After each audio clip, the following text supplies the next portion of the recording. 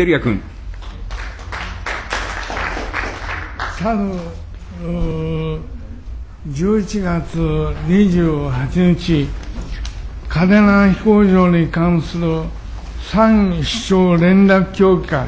いわゆる三連協の3名の首長が外務省、防衛省を訪れて、最新鋭ステルス戦闘機 F 35A の嘉手納基地への暫定配備に抗議し、嘉手納基地におけるパラシュート降下訓練の禁止、嘉手納基地に関する使用協定の締結を求めるなどの要請を行っております。両大臣、私はね、嘉手納基地のフェンスから約4キロのうるま市に住んでおります。昨今、極東最大の米空軍基地嘉手納は、鎖国合意に違反する機能強化や、我が国の裁判所において違法と断罪された爆音が激化しております。両大臣は三連協首長らからの3点の要請をどのように受け止めておられますか？河野外務大臣。11月28日、外務省を訪問された三市長連絡協議会から、嘉手納飛行場基地使用協定の締結について、嘉手納飛行場におけるパラシュート降下訓練について、および F35A ライトニング2戦闘機の嘉手納飛行場への飛来についてご要請がありました。嘉手納飛行場におけるパラシュート降下訓練の実施および航空機騒音をめぐる問題は地元の皆様にとりまして深刻なものであると認識をしております。在日米軍は我が国及び地域の平和と安全の維持のために駐留をしておりますが、外務省としても、その安定的駐留には、地元のご理解を得ることが必要不可欠であると認識をしておりまして、沖縄の負担軽減にしっかりと取り組んでまいりたいと思います。嘉手納飛行場基地使用協定の締結につきましては、具体的にどのような内容を想定されているものか、必ずしも明らかではないのですが、地元のご要請を真摯に受け止め、防衛省とともに対応を検討してまいりたいと思います。その上で、嘉手納飛行場の運用にあたっては、引き続き航空機騒音規制措置の遵守、あるいは過去最終報告に沿ったパラシュート降下訓練の実施などを米側に働きかけてまいりたいと思っております。小野寺防衛大臣。えー、外務省に協力して沖縄の負担軽減に努めてまいります。照屋監督君。河野大臣ね、今日から明日まで沖縄訪問されるようですが、私は先ほどのご答弁を聞いてね、肩書きに関する使用協定の締結、大変、ま、前向きな答弁だったと思います。実はね、この使用協定の内容というのは非常に膨大で、しかも詳細、あの出来上がってるもう10年前から要請してるぜひ、えー、沖縄を訪れる機会を生かして、その内容を掌握した上で、大臣のこの使用協定締結へ向けてのご活躍を私は期待をしたいと思います。さて、去る9月10日、NHK スペシャルのドキュメントスクープ沖縄と各で報じられた内容は衝撃的なものでありました。私も見ました。同番組によると、不自然の在沖米軍基地には1300発の核兵器が収容されていたと、1959年米米軍那覇基地で核弾頭内機ハーキュリーズ一発が水平誤射されて近くの海に突っ込ん突っ込んだこと、幸い。に爆発はしなかったものの、爆発しておれば沖縄は吹き飛んでしまったんだろうと、元米英らが証言しております。NHK 報道をきっかけに、去る11月13日、核兵器から命を守る沖縄県民共同会議が設立されました。河野外務大臣に尋ねます。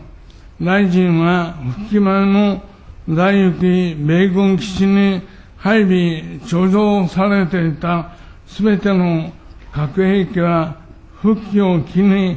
撤去されたとお考えですか撤去されたと断言できるのであれば、その根拠を具体的にお示しください。河野外務大臣。沖縄の核抜き返還につきましては、1969年11月の佐藤総理とニクソン大統領との共同声明第8項で明らかな通り、日米最高首脳間の深い相互理解と信頼に基づく確約でございます。その実施について何ら疑いの余地はございません。また、返還協定交渉にあたっては、これをさらに明確にするために、協定第7条において、核に関する我が国の政策に配置しない沖縄返還を明記してございます。さらに、米国政府は、1972年5月15日付のロジャース国務長官、当時ですね、から当時の福田外務大臣宛ての書簡において、沖縄の核兵器に関する米国政府の確約が完全に履行されたことを通報するとともに、合わせて米国政府は、事前協議の対象となる事項については、日本国政府の意思に反して行動する意図のないことを確認をしております。以上により、復帰時において沖縄に核兵器が存在しなかったことについて、何ら疑いはないと思っております。照屋監督君。えー、今の大臣の答弁、まあ、想定をしておりましたけども、核兵器から命を守る沖縄県民共闘会議は、沖縄返還交渉における核密約問題もあり、復帰後の在沖米軍基地に核兵器が再持ち込みされたとの懸念を払拭するため、米軍基地への査察の実施を求めておりますが、その必要性について、外務防衛両大臣にお考えをお聞きします。河野外務大臣。えー、先ほどの質問に対する回答で述べたとおり、政府としては沖縄復帰時において沖縄に核兵器が存在せず、また米国政府は我が国の非核三原則を十分に理解をしており、沖縄に核兵器がないことについて何ら疑いの余地がないと考えておりますので、米軍施設の査察を実施する必要はないものと考えております。宮山地方協力局長。えー、防衛省から一点お答え申し上げます。えー、ご指摘あのご指摘のような査察、あるいは立ち入りといったことに対する要請が沖縄県で議論されているということは承知といたしています。あのこの件に関しまして、本年10月10日、沖縄県から沖縄防衛局に対しまして、嘉手納弾薬庫地区の視察にかかる調整をお願いしたい、どのような内容で調整するかについては、沖縄県において検討の上、改めて連絡するという旨のご連絡をいただいたところでございます。え現時点においては、沖縄県からまだ特段の連絡はいただいておりませんけれども、ご連絡がありました場合には、あ沖縄県と協議いたしまして、適切に対応させていただきたいと考えております照屋監督君。まあ、県民の核の不安、これはあ払拭されないでしょうね。えー、さて、えー、防衛省に伺います。去る11月19日、奈良市の国道58号泊交差点で発生した米軍人の公用車による飲酒運転追突死亡事故について伺い、同事故の加害者である米海兵隊上等兵は、犯行当日に基地内、基地外で飲酒しております。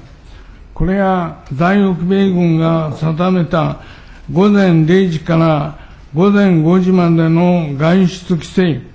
基地外飲酒規制を定めたリリバティ制度に反する疑いが極めて濃厚でありますが、防衛省の認識を伺います。宮山地方協力局長。お答え申し上げます。えー、ご指摘の事故に関しまして、事故の事実関係につきましては、現在、捜査当局において捜査中であると承知しております。防衛省といたしまして、あの在日米軍が自主的に措置として設けた勤務時間時間外行動の指針、今、委員からリバティ制度と、あの我々リバティ制度と申しておりますが、これとの関係といといった個別の状況につきましては、捜査中ということを踏まえまして、申し上げることは、あの答弁することは差し替えさせていただきたいと思います。照屋監督君。あのね、沖縄防衛局の責任者は、地元の皆さんの抗議要請に、本件については、リバティ制度の違反だということをおっしゃってるんですよ。この事件はね、小野寺大臣、私は非常にね、悪質で残念、そして非常に悲惨なあ事故であります。もう遺族の心中を察するにね、胸が張り裂けそうですよ。この在北米軍がよく良き隣人になりたいと、こういうことを言いますけども、この事件で見る限りね、これは悪しき無法者だというふうに私は言わざるを得ません。遺族への補償を含めて、防衛省がしっかり対応されるように要望をしておきます。さて、えー、本件と関連して、この犯行時は公務外であったにもかかわらず、容疑者の米兵は、なぜ米軍公用車の2トントラックを飲酒運転の上、死亡事故を邪気したのか。一体、在北米軍の公用車管理について、防衛省は米軍からどのような説明を受けておるのか。そして本当に、えー、大北米軍は公用車管理を徹底していると思っていらっしゃるのか、聞きます。宮山地方協力局長。お答え申し上げます。えー、今あの、なぜ公用車をこの事故を起こしたあ米兵がも使えたのかという点についてお尋ねございました。えー、先ほどもお答えしたところでありますが、本件事故は引き続き事実関係の捜査中であると考えております。えー私どもといたしましては、その捜査の結果を踏まえて対処してまいりたいと考えておりますけれども、今、ご指摘の点につきましては、あの非常に、えー、我々もあの関心を強く持っているところでございまして、捜査の推移を注視しながら適切に対応してまいりたいと考えているところでございます。照屋監督君。あの防衛大臣含めて防衛省にあの行ってきますけれどもね、今年発生をした米兵の飲酒運転、あるいは飲酒絡みの事件事故、この半数以上がね、例のリバティ制度に違反をしていることは、もう沖縄県警でも県民もみんな消費してんだだから大臣ね本当にこの公用車管理の徹底を国として強く米軍にあの申し入れるべきだとこのように私は思います。最後に本件に関連して11月19日、えー、ごめんなさい。11月28日沖縄県議会が全会一致で在沖米海兵隊員による飲酒死亡に、えー、死亡事故に関する抗議決議及び意見書を採択しております。その中で日米両政府に対し在沖米海兵隊の早期の国外、県外への移転を求める。さらには沖縄県、日本政府、米国政府の3者による特別対策協議会を設置をして、事件事故の再発防止を図ることなどを決議をしております。両大臣に、えー、私は申し上げますけれども、もう手垢のついた言葉でね、再発防止とか、後期粛清とか言っても、全く効果がない。そのことによって、米兵の事件事故によって、沖縄県民の平和のうちに生きる権利も侵害をされております。両大臣はこの県議会がいいですか、全会一致で採択をした法議決議意見書、私が指摘をした2点について見解を伺います。河野外務大臣、申し合わせの時間来ておりますので、簡潔にご答弁お願いします。在沖米海兵隊の早期の国外、県外の移転に関する要請につきましては、政府としては、地理的な優位性を有する沖縄に、優れた機動性及び即応性を有する米軍海兵隊が駐留することは日米同盟の抑止力を構成する重要な要素であって、我が国の平和と安全を確保する上で必要なものであると考えております。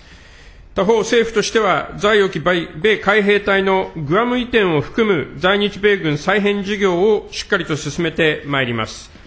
新たな協議会の設置に関する要請については、そもそも米軍による事件、事故は地元の皆様に大きな不安を与えるものであって、本来あってはならないものでございます。沖縄事務所では、外務省の沖縄事務所では、沖縄県や沖縄防衛局、在沖米軍をメンバーとする、米軍人軍属等による事件事故防止のための協力ワーキングチームを開催し、沖縄県内の様々な意見を伺いながら在日米軍の事件事故防止のため協議をしております。政府としては、地元の意向を踏まえて、米側とやり取りをするのは当然のことであると考えており、地元の皆様から受けたまわったご意見等を考慮した上で、米側と協力し、意思疎通を行ってきております。引き続き、米軍との意思疎通について、政府として責任を持って実施してまいります。小野寺防衛大臣。この事故で亡くなられた方、そしてまたそのご家族に心からお悔やみを申し上げたいと思っております。この事案の深刻さは、直後、沖縄海兵隊ニコルソン四軍調整官が、お詫びをされた、そのことにも尽きるんだと思っております。防衛省としても外務省とともにしっかり、このようなことがないように対応してまいりたいと思います。照屋監督。はい